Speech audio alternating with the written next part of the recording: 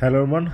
In this video we are going to host the laravel website as subdomain in the hostinger server okay? In the hostinger hosting.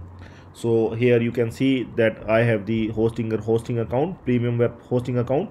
So i'm going to create the subdomain under stackdevelopers.in this is my primary domain. So under this domain i'm going to create uh, one subdomain like e-commerce.stackdevelopers.in in which i'm going to host one of the website. Okay so i'm going to do it straight away. Uh, so i'm going i want to host uh, the website under stackdevelopers.in i will click on hosting and i will click on these two website and i'm going to open this website stackdevelopers.in and i want to host the website under stackdevelopers.in so i'm going to uh, create this subdomain. Okay i'm going to create this subdomain. Uh, under uh, here is option of subdomain under domains. I'm going to add here e-commerce dot stack developers dot in. Okay i'm going to create.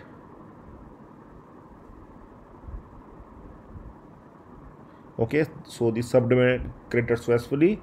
I can see it has been created uh, e-commerce okay? So uh, see i i'm going to create this sub subdomain with some other name like uh, i'm going to make it like e-commerce.stackdevelopers.in so that we it, it is easily uh, understandable in future like e-commerce.stackdevelopers.in okay? I'm going to create this subdomain and also i'm going to set the custom folder for this subdomain okay? I'm going to make it like uh, same uh, name i'm going to give like e-commerce.stackdevelopers.in uh, okay? Uh, so uh, here it is not required. Okay so e-commerce.stackdevelopers.in and its its directory we are going to create this folder e-commerce.stackdevelopers.in under stackdevelopers.in okay? So now i'm going to create so it has been created. Okay so now we are going to add files under this one e-commerce.stackdevelopers.in so i'm going to uh, files here and we'll click on file manager and we'll click on uh, access all files of premium web hosting.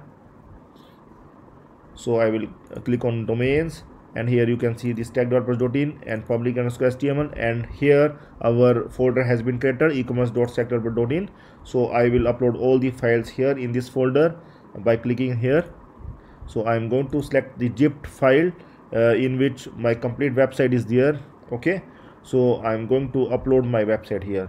Like this is my website e-commerce.stackdevelopers.in so i'm going to upload this website. So it will take few seconds depends upon the speed of the internet. So the website has been uploaded and now i'm going to extract this one. I'm going to extract uh, under this uh, folder itself. I'm going to uh, extract here.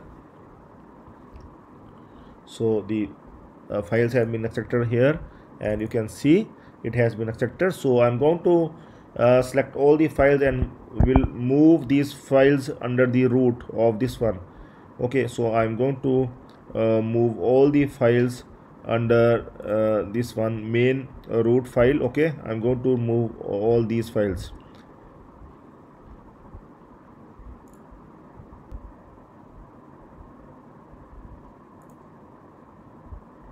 I think we able to move now the files are now located inside the e-commerce.stackdeveloper.in okay?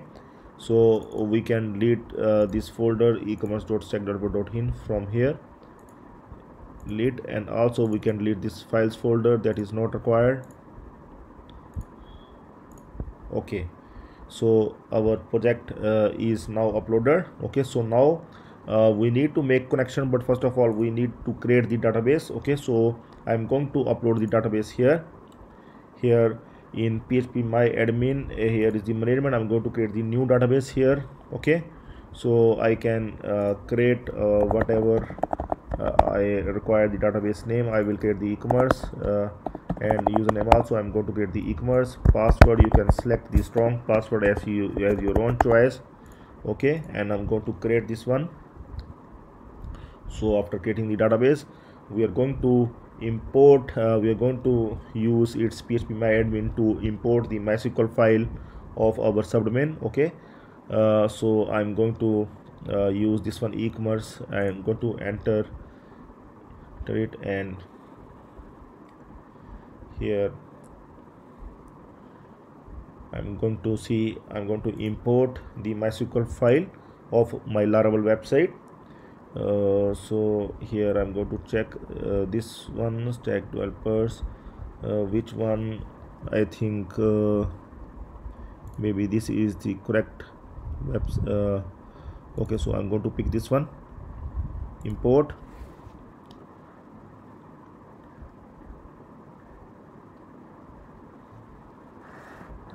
So it has been imported and now we can check here I'm going to refresh here.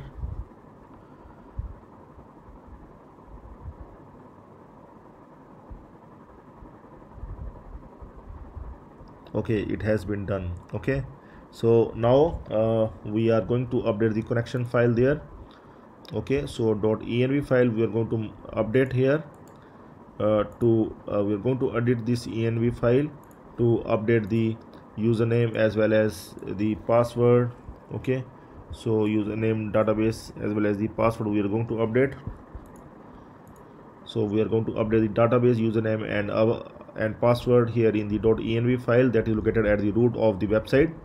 Okay so whatever we have given here uh, this is the username as well as the database and password strong password that we have given at the time of uh, creating the database. Okay username password we are going to give here for the security reason i am not showing the password but we are going, going to give the password here. So we able to update the password. So we able to update uh, the database connection with the password as well as the database and the username. Now we are going to run the website. I'm going to run here uh, as e-commerce dot i'm going to see whether our website runs or not as subdomain okay? So actually some issue has come. I think the issue is with the php version. Uh, it is not running. So we are going to check the php version of our subdomain okay? Uh, so uh, i'm going to put one file and we'll check the php version. Here i'm going to add the new file and we will add phpinfo.php we'll create this file. And here I'm going to add uh, here some syntax php info function built-in function of php to check the php version that the server is supporting. So i'm going to run this file here php info.php so it is supporting the php version 8 but we require the less version.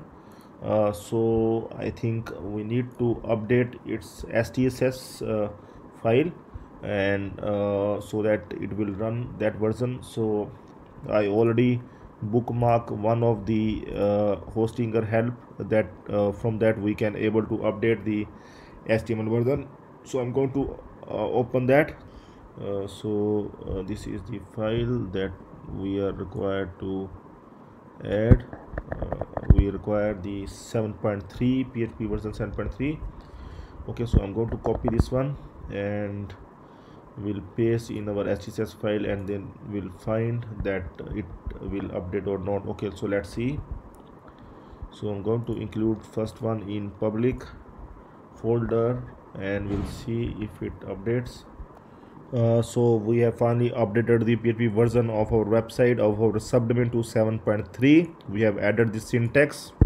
So uh, this syntax uh, helps us to update the PHP version 7.3 okay so you can check here that it's now uh, version has been updated to php version 7.3 okay that that we require for our subdomain for our laravel website that we have uploaded as subdomain.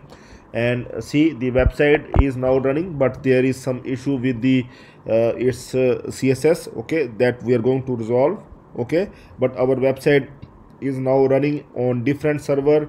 Uh, in subdomain has been created and our website is uploaded and is also running on the correct php version. Just the thing is that we need to correct the layout of this website. So after correcting the paths after making some efforts the uh, subdomain is now working fine. You can see uh, it is showing the products. Okay. Uh, so you can click any of the listing page as well and you can see the products uh, okay. So uh, so you can also follow these steps uh, for creating the subdomain in the hostinger server or any other server. Most of the time the steps remain the same okay. So if you have any doubts you can surely contact me. That's all for now. Have a nice time. Goodbye